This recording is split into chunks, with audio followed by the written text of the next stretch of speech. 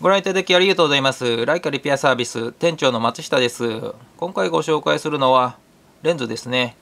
えー、ライカの、えー、バルナック用のスクリューマントレンズ。一番の定番レンズですね。エルマーの 5cmF3.5 になります、えー、こちらはノンコーティングの前期タイプですね。はい。まずはじゃあ外観から見ていきましょう。じゃあその前にキャップを外して、ちらのフロントのレンズキャップですね。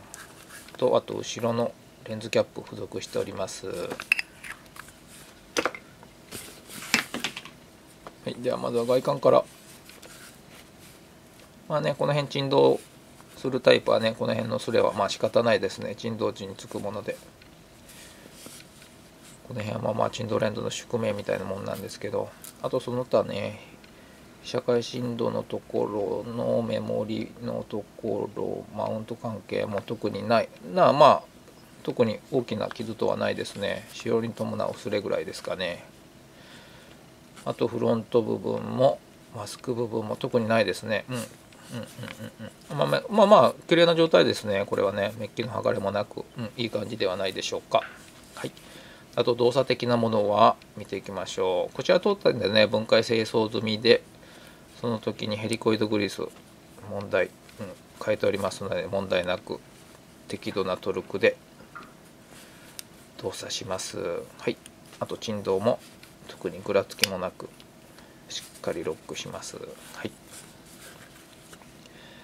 はい、エルマーの中でよくねあの動きが渋いのが多いんですがこの辺絞りリング当店でこれは問題なく清掃してグリストフしてますので問題なく動作します。はい、いいですね。はい。あと絞りバネ、特に癒着もなく油浮きもないですね。はい、問題ありません。あと光学系ですが、これエルバーにしてはかなり綺麗ですね。吹き傷もね、本当に少ないですね、ほとんどね。前玉がね、ガチガチにね、吹き傷多いのが多いんですが、特にこれは、この答えはないです。後ろも特にないですね。で、中にちょっと若干ねやっぱりまあね古いレッド特有の古いあの薄い曇りは若干ありますけど本当に影響を及ぼすようなかなりの曇りではなく本当に薄曇りです。あと影響を及ぼすようなカビとか大きなゴミ等はないです。その辺はご安心ください。とてもエルマーらしい描写を楽しめるといただけ思います。はい。えー、ここまでご覧いただきありがとうございました。ご不明な点がありましたらお気軽にご連絡ください。よろしくお願いいたします。